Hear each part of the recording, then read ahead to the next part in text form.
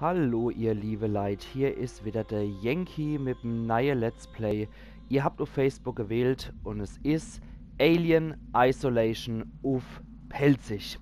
Ich freue mich jetzt schon ziemlich arg, das zu spielen und auf der anderen Seite habe ich genauso sehr Schiss davor, das zu spielen, weil es ist nicht so lange her, dass ich das Spiel mal gezockt habe, aber ich habe es allermeiste wieder vergessen und ich weiß, es ist ewig lang.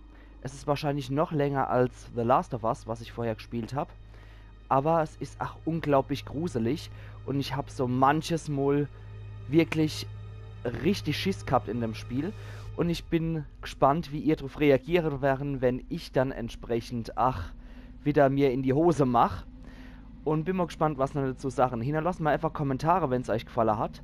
Und ansonsten würde ich sagen, fangen wir doch direkt an. Ja, ich wollte noch dazu erwähnen, dass das ganze Let's Play natürlich auch wieder im Pelzer Dialekt stattfinden wird.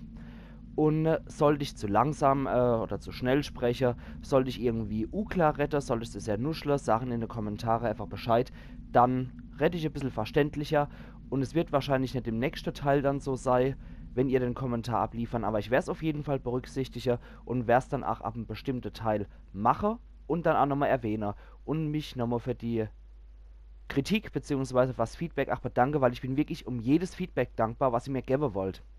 Ja, dann fangen wir doch mal an mit Alien Isolation selbst und äh, starten das Spiel. Ich bin zwar schon einmal durchgegangen, aber ich würde sagen, wir starten ends. Äh, nee, Head-Tracking habe ich nicht. Ich habe hier keine Kamera dabei, glücklicherweise muss ich sagen. Geräuscherfassung machen wir auch nicht, sonst beim Bubble und so weiter, beim Let's Play, das geht einfach nicht, sonst hört uns das Alien ja ständig. Ja, dann die Sache. Wir machen mal A-Fänger. Weil leicht, ja, das, das geht. Mittel ist trotzdem fies. Schwer, das will ich erst gar nicht wissen. Und Albtraum, der ultimative Überlebenstest heißt Vergiss es. Never ever. Das mache ich bestimmt nicht. das könnte man irgendwann einmal vielleicht machen, wenn er mal sagen, hey Yankee, das Let's Play war so witzig, beziehungsweise du hast dich so witzig angehört, wenn du, die, wenn du durchgedreht bist. Mach doch mal ein paar Sequenzen auf Albtraum. Dann können wir mal gerne drüber retten. Aber ich bin erstmal froh, wenn ich es auf dem allerleichtesten Modus durchgezockt habe. Jawoll, das wollen wir. Ich habe es ja schon mal durchgespielt. Da gucken wir mal. Ja. Gerade so der schwarze Hintergrund sichtbar.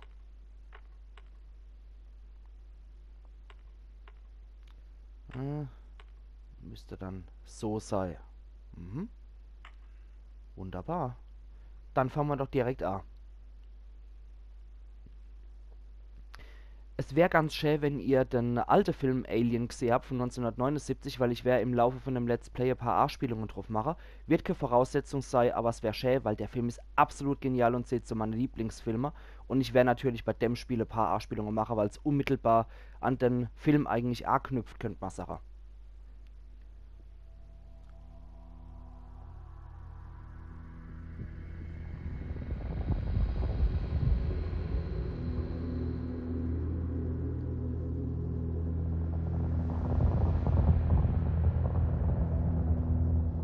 Letzte Meldung vom interplanetaren Raumfrachter Nostromo. Hier spricht der dritte Offizier. Die anderen Besatzungsmitglieder. Kane, Lambert, Parker, Brett, Ash und Captain Dallas sind tot. Ladung und Schiff sind zerstört. Wenn alles klappt, müsste ich in sechs Wochen die Randzone erreichen. Und sollte ich Glück haben, findet mich eine Raumpatrouille. Hier spricht Ripley. Die einzige Überlebende der Nostromo. Ende der Durchsage. Ja, das war die Durchsage aus dem ersten Alien-Film zum Schluss. Deswegen wäre es wirklich nicht schlecht, wenn er den Film gesehen hätten. Ist nicht zwingend notwendig, wie gesagt, aber es wäre schön. Einfach damit nach das Stück Filmgeschichte mal erlebt habt, weil es ist einfach nur großartig.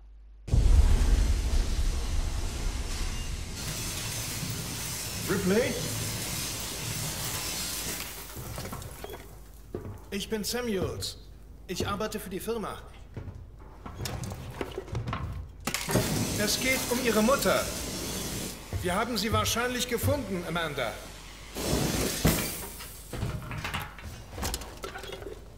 Ein Handelsschiff. Die Anisidora hat einen Flugschreiber geborgen, von dem wir annehmen, dass er zu Nostromo gehört. Wo? Cetereticuli. Wissen Sie jetzt mehr? Noch nicht. Das Gerät wurde zur Sevastopol-Station gebracht. Es handelt sich um Firmeneigentum und die Firma will, dass es so bald wie möglich abgeholt wird. Die Station ist ein Versorgungslager in der Region. Sie ist eine dauerhafte Zollfreizone. Ich weiß, was es ist. Der Transit steht. Ein Kurierschiff namens Torrance macht sich in zwei Tagen in die Richtung auf. Wir brechen auf zur Stadt. Wir? Ich, ein Kollege von mir und Sie, falls Sie wollen.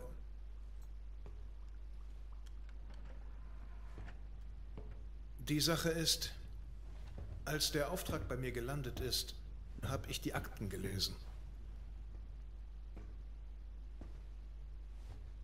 Ich weiß, warum Sie in dem Gebiet arbeiten, in dem sie verschwunden ist.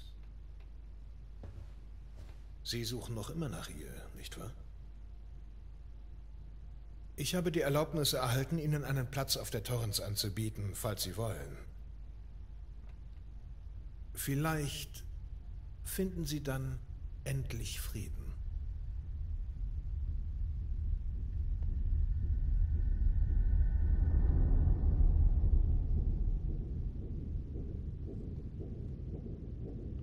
Jo, wunderbar. Dann spielen wir oder Ripley, ihr Tochter. Und wissen schon in etwa, was uns erwarten könnte.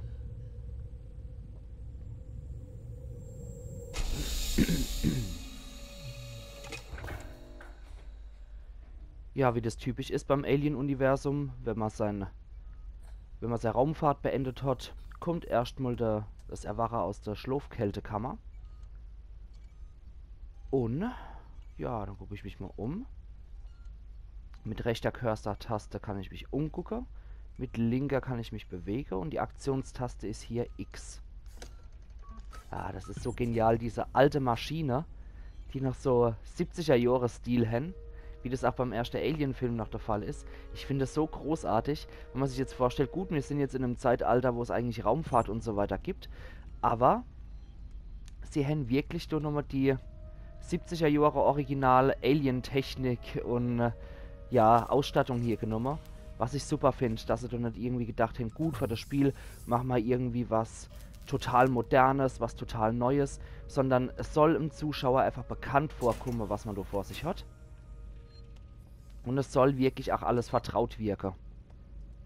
Dann hätten wir hier nochmal Terminal. Können wir uns dann durchlesen, jeweils immer, was da steht. Knapp verpasst. Verlaine, suchen Sie noch einen Navigationsoffizier? Ein Freund von mir hat gerade sein Schiff verloren und sucht Arbeit. Ich kann für ihn bürgen, seine Papiere sind in Ordnung. Es ist die alte Geschichte.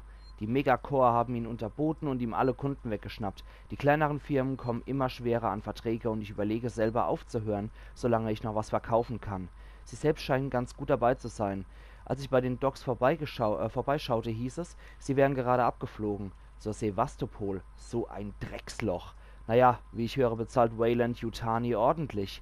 Viel Glück jedenfalls, wenn man sie nicht schlagen kann, was? Wir müssen uns treffen, wenn sie zurück sind. Blaine. Ja, das sind immer wieder so Texte, die man hier lesen kann. So zu Sache eigentlich was Optionales. Und hier haben wir dann auch unsere Speicher Speicherstation. Da können wir direkt mit unserer gigantischen 60er, 80er, was auch immer Jahre Giganto-Diskette speichern. Und das machen wir noch gleich. Da haben wir dann auch das Kassette-Symbol. Ja, für alle jüngere Zuschauer, das ist eine Kassette. Das soll es mal früher geben haben. Bin hier noch selber damit Großwoche. Da merkt man dann irgendwie doch, dass man älter wird. Dann, was haben wir hier noch Schönes? Crew Poster. Das kann ich ein- und ausschalten. Verlaine, Connor, Samuels, Taylor und Ripley. Das ist unsere Besatzung. Alle schon registriert. Das heißt, alle schon aus dem Kälteschlaf aufgewacht. Ja, bevor wir da in der Feinripp erscheinen, haben wir uns erstmal angezogen. Und die epische Mission bestanden. Ich kann am Anfang wirklich noch Lache und Scherze machen und hihihi, ho ho ho, weil es kommt noch kein Alien. Deswegen bin ich derzeit noch sehr froh darüber und kann noch hier die Welt schön erkunden. Kann man noch alles in aller Ruhe angucken auf dem Kurierschiff, auf dem wir hier gerade sind. Und muss noch nicht Angst haben, dass mich irgendjemand verfolgt oder mir ans Leder will. Oh, das wird sich noch einer in dem Spiel. Und glauben was, ich habe schon sehr viel vergessen. Das ist schon fast wieder ein blindes Let's Play, was ich hier mache. Weil es ist Ewigkeit her, dass ich das gespielt habe. Beziehungsweise habe auch sehr viel verdrängt, muss ich sagen.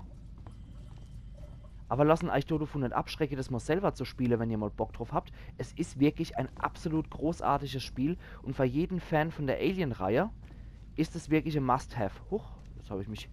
Ach so, so kann ich mich... Ah, ja, genau. So kann ich mich dann um die Ecke rum bewegen mit meinem Blickfeld. Und zwar können die so stehen bleiben und dann... Oh, oh, oh, oh, oh, ist es do, ist es do, ist es do? Oh Gott, da hat sich was bewegt.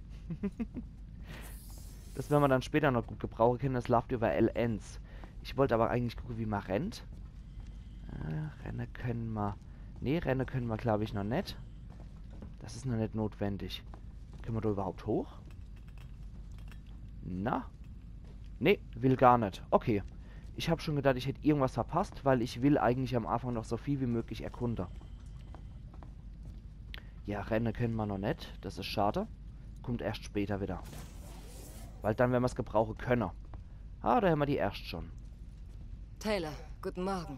Ripley, es ist mit Sicherheit nicht gut. Und von einem Morgen kann ja auch keine Rede sein. Tut mir leid.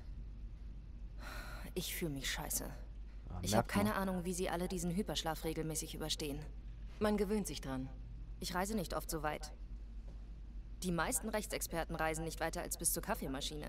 Wundert mich, dass Wayland Yutani es für nötig hielt, die Rechtsabteilung zu schicken.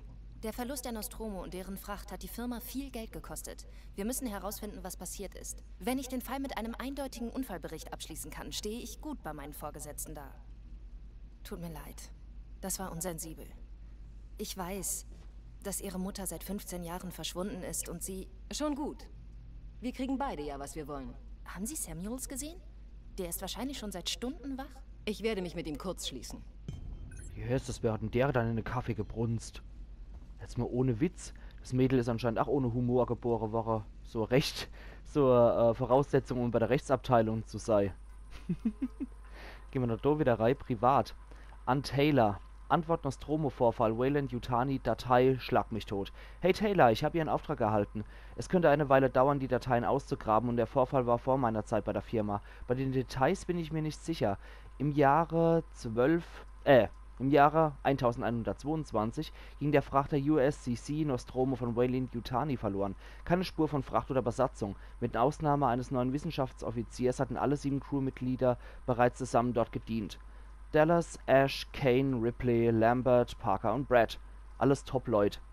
Wayland Yutani hat dadurch eine Stange Geld verloren. Es gilt als Schandfleck in der Firmengeschichte. Ich habe den Eindruck, die haben es nicht gern, wenn, man's da, wenn man davon spricht. Ich versuche, die Dateien später zu finden und ein paar Punkte zu klären. Wenn Sie wollen, kann ich mit Ihnen zusammen durchgehen. Vielleicht färbt etwas von Ihrem Glück auf mich ab. Wie ich höre, haben Sie die großen Tiere mit Ihnen vor. Äh, wie ich höre, haben die hohen Tiere Großes mit Ihnen vor. Saul. Ja.